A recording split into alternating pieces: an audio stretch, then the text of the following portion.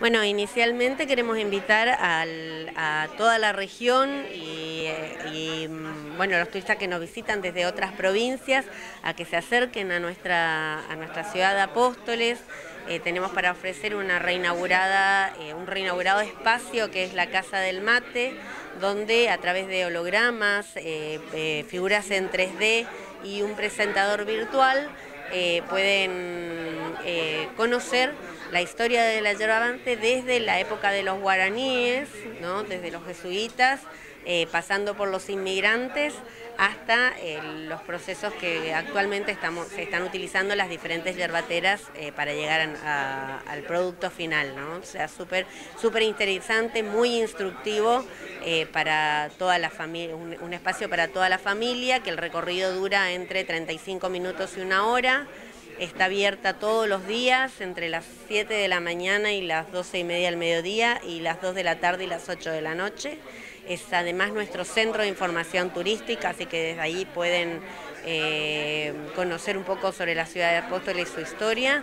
Eh, salen recorridos turísticos, city tours y, eh, recorridos hacia el establecimiento Playadito y La Cachuera con el Museo de Juan Chijoski.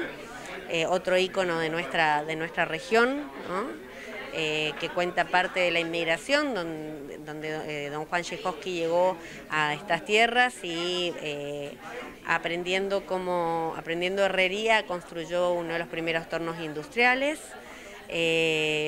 Y bueno, a partir de ahí también conjuntamente con la Dirección de Cultura y la Dirección de Deportes de la ciudad se crearon un montón de actividades para la semana en la cual hay talleres de pintura, eh, un taller de, de, literatura para adultos y otro de cuentos para niños a cargo del grupo de escritores de Argentina. Eh, después el, jueves, que, el jueves eh, tenemos una actividad recreativa para niños a cargo de la Dirección de Deporte y sus profesores.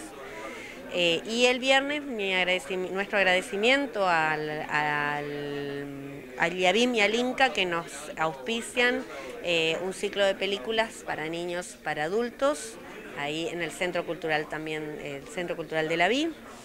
Eh, cerrando un poco la semana con una varieté teatral el sábado, eh, el sábado 13, a partir de las 21 horas en el Centro Cultural de la Vi, y el, eh, un espacio artístico cultural que se realiza, que lo viene realizando Apóstoles ya hace un par de años, en el cual se, reunimos a artistas de la ciudad, artesanos, gastronómicos, eh, para pasar una tarde diferente en, la Plaza de la Madre a partir de las 15 horas el domingo 14. En cuanto a las reservas, ¿cómo vienen?